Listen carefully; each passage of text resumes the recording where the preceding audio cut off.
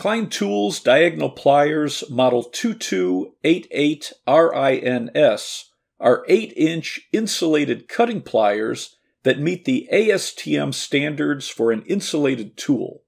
The insulated handles are rated up to 1000 volts and have finger guards. The forged steel jaw has induction hardened cutting edges for strength and durability. It has a hot riveted joint that's set closer to the jaw for better leverage and cutting power. The jaw is shaped to fit into small spaces.